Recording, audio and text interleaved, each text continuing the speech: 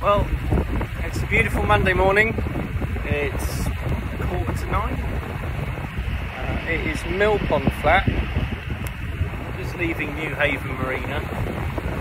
Uh, on my way to the Isle of Wight. So, I'll up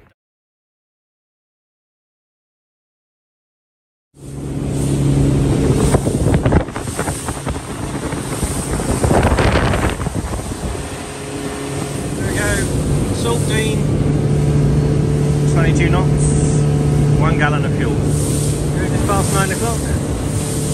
Brighton from the sea. Go, quarter past nine. There's Shoreham Chimney. And Lancing College just behind it. 9.23 and Worthing Pier in the distance. Knocking along nicely. Don't think the windmills are making much wind this morning. Lambton, funny dolphin thing. 9.52, Bognor Regis. We're into the flatlands now. Nothing to navigate but the Isle of Wight on the end. This is a bit spooky. That's East Head.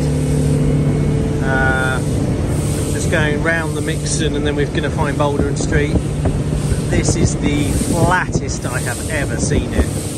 So the tide's flowing into the boulders under here, which means the other side of it might be a bit tasty. So we're coming up to uh, Boulder and Street here. You can probably see them out the windows now. Um, this is the hole in the rock ledge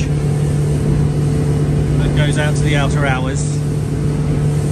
Once we're through here, um, it's free and easy on to Bembridge in the Isle of Wight. So the tide is hooting through. We've got about three knots of tide helping us through here. That's street. Look at the tide rolling around there. Now the other window we've got Boulder. It's the green one. Foreman's fighting on it. And now it's about to get a bit choppy. So I'll put the camera down across. There's a gannet frantically getting out of the way there. Whee! He is massive. Sitting here at anchor, I'm guessing they're waiting for the oil price to change. Final update. Uh, we're coming up to a series of markers that you have to follow by number to get into Bembridge because it can get very shallow here. Some big old posh boats coming in and the fort. Right, better concentrate now. There we go. Filling up Bembridge Marina. It's 11 o'clock. Oh, what a lovely place. Gonna do some painting.